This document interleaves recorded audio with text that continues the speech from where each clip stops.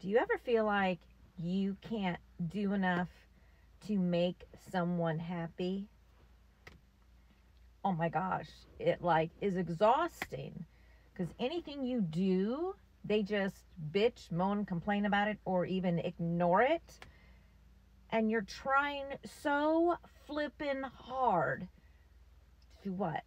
Make them happy, get their approval, have them like you, love you, reinforce that you have worth and value and that you're a good person. And at the end of the day, you question your own self worth and value because the person that you're trying to please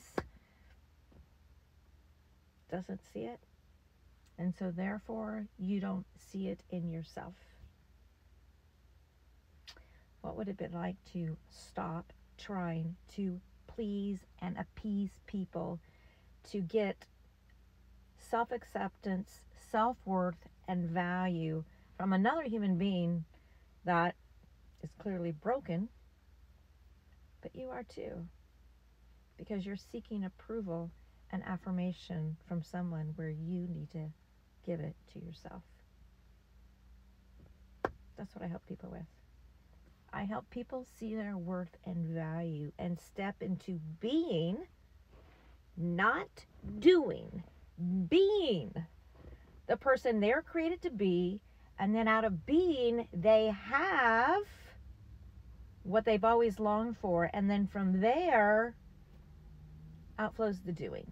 We often do it so wrong in society. We do in order to have, and at the end of the day, we look in the mirror and we're like, oh my gosh, I don't like you anymore. Well, why? It's because you have your whole life backwards.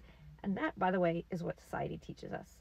So, if you need help stepping into seeing who you are, who you're created to be, and stop seeking approval, people pleasing, which is exhausting you, depleting you, and giving you health issues, psychological issues, questioning who you are, making you feel unstable and unsure of yourself, I want to encourage you go to my web or my Linktree and schedule a time with me today. You have one life to live. The life you've been living isn't working.